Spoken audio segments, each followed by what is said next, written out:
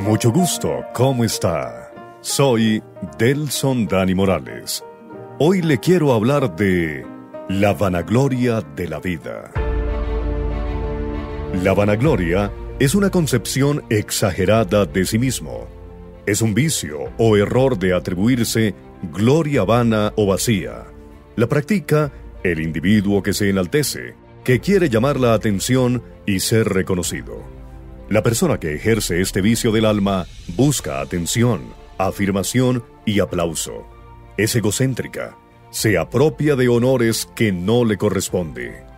La vanagloria refleja el carácter pecaminoso de la humanidad.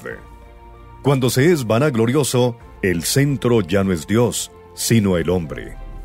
La vanagloria de la vida es todo aquello que apela a la jactancia, arrogancia, orgullo o soberbia por los logros personales, llámense académicos, financieros y también por el éxito profesional y por causa de la popularidad. Cuando la persona cae presa de la vanagloria de la vida, ya no existe lucha contra los deseos de la carne. El maligno Satanás ha ganado la batalla sensual e intelectual.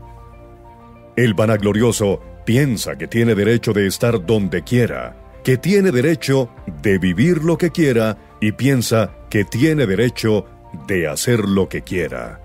El vanaglorioso, voluntaria o inconscientemente, pone a Dios fuera de sus planes. Vive su vida sin siquiera detenerse a pensar en Dios.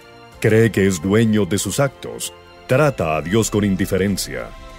La vanagloria es un pecado que Dios repudia, porque quien lo practica no reconoce que todo lo que posee es dado por la gracia de Dios.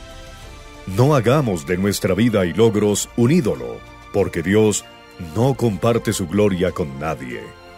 En Isaías 42, 8 dice, Yo soy el Señor, ese es mi nombre.